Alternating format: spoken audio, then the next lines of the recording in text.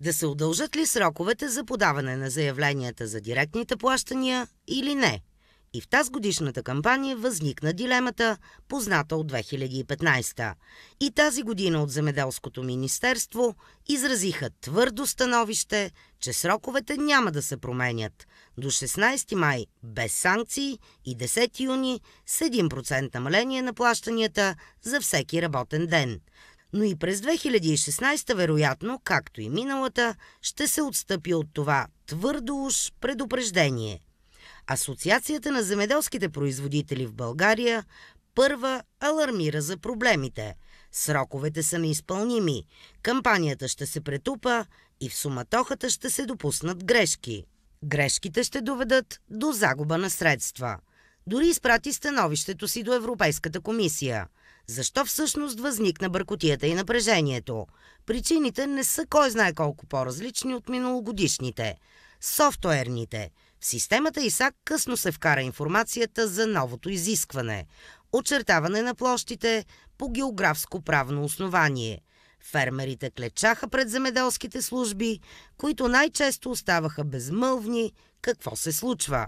Едва преди ден-два пък, отново в ИСАК, вече могат да се очертават държавните и общинските пасища. И най-вече беше решен болният въпрос. Правилата, при които ще се заявяват полските пътища. Нищо ново. И в предишната година софтуерът на ИСАК се променяше и в крачка на самата кампания се надграждаше. Администрацията отново се оказа неподготвена, за да бъде в помощ на стопаните. Да не се връщаме в дребните наглед пропуски отново.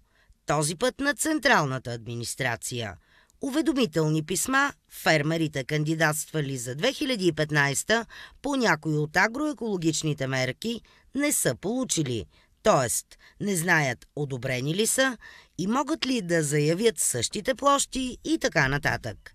Първият сигнал от Земеделското министерство, че е удря на амортисьори, дойде преди дни.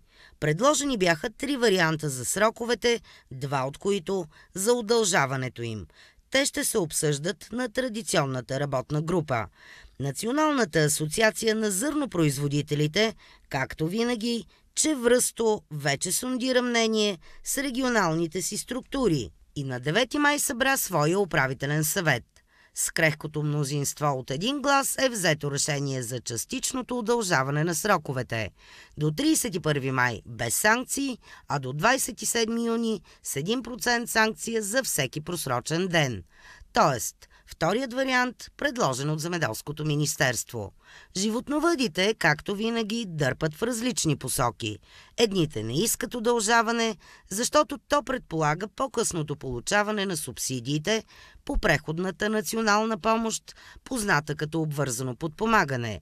Други пък, които обработват и земя, искали само за субсидиите на площ да има удължени срокове, но не и за животните, което е абсурдно – Сдружението на българските земеделски производители е категорично за изместване на сроковете, защото дребните фермери били пренебрегвани от службите, едва ли не спели пред земеделските служби, едрите били с предимство.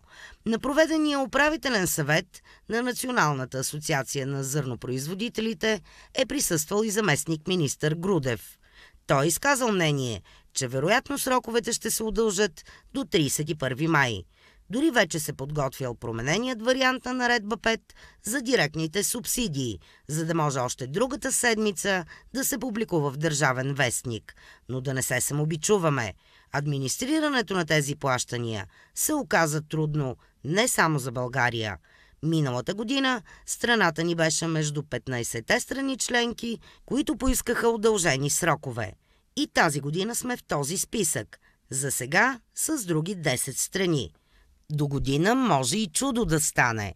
Току виж сме влезли в списъка на отличниците.